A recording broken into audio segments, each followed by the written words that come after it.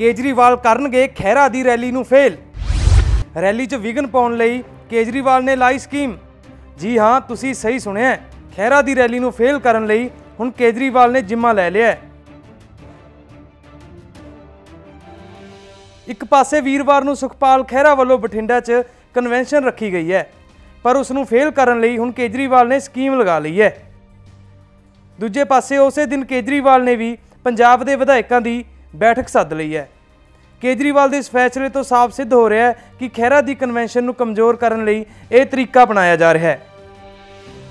ਇੱਥੇ ਇਹ ਵੀ ਦੱਸਣਾ ਬਣਦਾ ਹੈ ਕਿ ਇਸ ਤੋਂ ਪਹਿਲਾਂ ਵੀ ਹਾਈ ਕਮਾਂਡ ਦੋ ਵਾਰ ਸਾਰੇ ਵਿਧਾਇਕਾਂ ਨਾਲ ਮੀਟਿੰਗ ਕਰ ਚੁੱਕੀ ਹੈ। ਇਸ ਵਾਰ ਕੇਜਰੀਵਾਲ ਨੇ ਵੱਧ ਤੋਂ ਵੱਧ ਵਿਧਾਇਕਾਂ ਨੂੰ ਮੀਟਿੰਗ 'ਚ ਆਉਣ ਦਾ ਸੱਦਾ ਵੀ ਦਿੱਤਾ ਹੈ। ਪਰ ਦੂਜੇ ਪਾਸੇ ਵਿਰੋਧੀ ਧਿਰ ਦੇ ਅਹੁਦੇ ਤੋਂ ਉਤਾਰਨ ਤੋਂ ਬਾਅਦ ਸੁਖਪਾਲ ਖਹਿਰਾ ਨੇ ਬੀਤੀ 27 ਜੁਲਾਈ ਨੂੰ ਮੀਟਿੰਗ ਕੀਤੀ ਸੀ, ਜਿਸ ਵਿੱਚ 9 ਵਿਧਾਇਕਾਂ ਨੇ ਖਹਿਰਾ ਦਾ ਸਾਥ ਦਿੱਤਾ ਸੀ। ਤੇ ਹੁਣ ਖਹਿਰਾ 13 ਵਿਧਾਇਕਾਂ ਦਾ ਆਪਣੇ ਨਾਲ ਹੋਣ ਦਾ ਦਾਅਵਾ ਕਰ ਰਹੇ ਨੇ। ਜਿਸ ਦਿਨ ਤੋਂ ਹਾਈ ਕਮਾਨ ਨੇ ਦਿੜਵਾ ਤੋਂ ਵਿਧਾਇਕ ਹਰਪਾਲ ਸਿੰਘ ਚੀਮਾ ਨੂੰ ਵਿਰੋਧੀ ਧਿਰ ਦਾ ਨੇਤਾ ਬਣਾਇਆ ਏ, ਉਸ ਦਿਨ ਤੋਂ ਹੀ ਆਪ ਪਾਰਟੀ ਵਿੱਚ ਪਾੜ ਪੈਣਾ ਸ਼ੁਰੂ ਹੋ ਗਿਆ।